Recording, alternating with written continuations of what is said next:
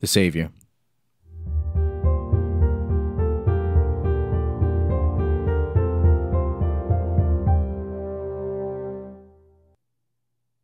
On daytime television, the face of God plasters the screen. His name is Noel, and he's an evangelical preacher. He claims to be the modern age's savior from corruption. The end is near in Noel's prophetic visions. God will come down on a fiery chariot to judge the living and the dead, procuring his elect for the recreated Garden of Eden. Brimstone and hellfire will burn all the false idols humanity has fallen prey to, namely pornography, celebrities, and technology.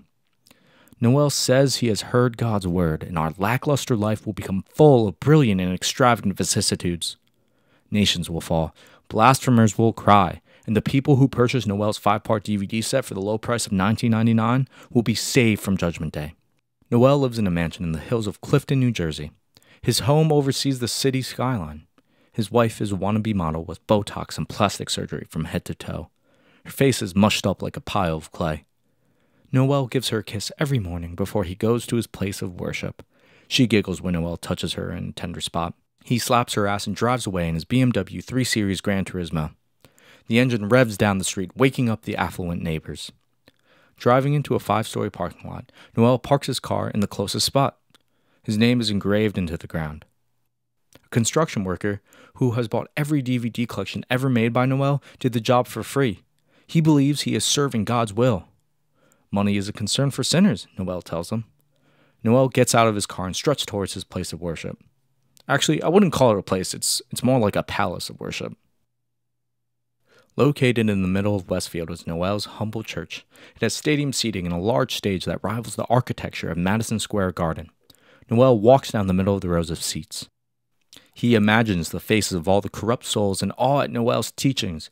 He sees the tears rolling down their putrid skin, cleansing their bodies of all their past transgressions. He remembers the women who flock to the front of the stage, falling on their face at the magnitude of Noel's soul. They can hardly contain their excitement when Noel utters a single word or phrase. Needless to say, Noel has them hooked. In a high rise box overseeing the stadium is Noel's office. He sits back in his imported leather chair, propping his feet up on the desk. He opens the top drawer and places a legal notepad and a Bible on top. He opens the Bible and picks up a fountain pen from its placeholder. He decides today, when they go live, he will discuss how his followers have sinned against God, for he has sent them a multitude of signs and never listened.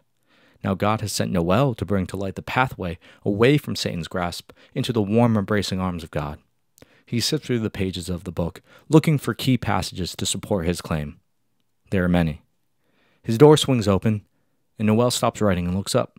Freddie, one of Noel's most devout students, is holding his mouth at the doorway. He grabs a trash can and pukes into it. There's blood on his hands. Noel grabs Freddie and brings him inside. Noel pushes Freddie on the couch and runs to the doorway, looking out for if anyone followed him. Freddie cries so hard he pants like a child.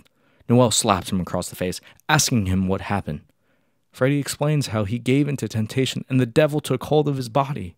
He gave into lust and went to bed with a prostitute.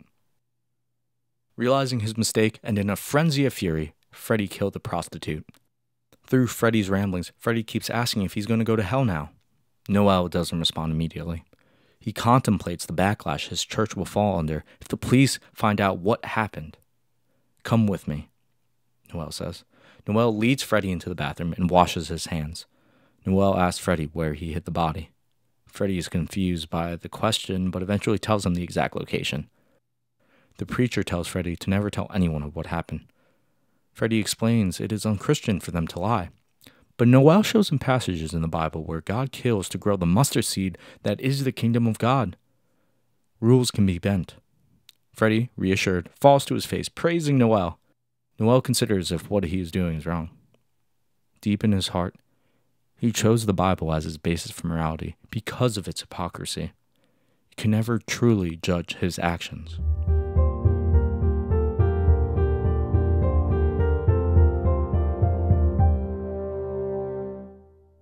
Thanks for listening. If you'd like to support the Simulation Podcast, you can donate to my Patreon account. Any amount would be extraordinarily helpful. The link will be in the description along with all my social media accounts.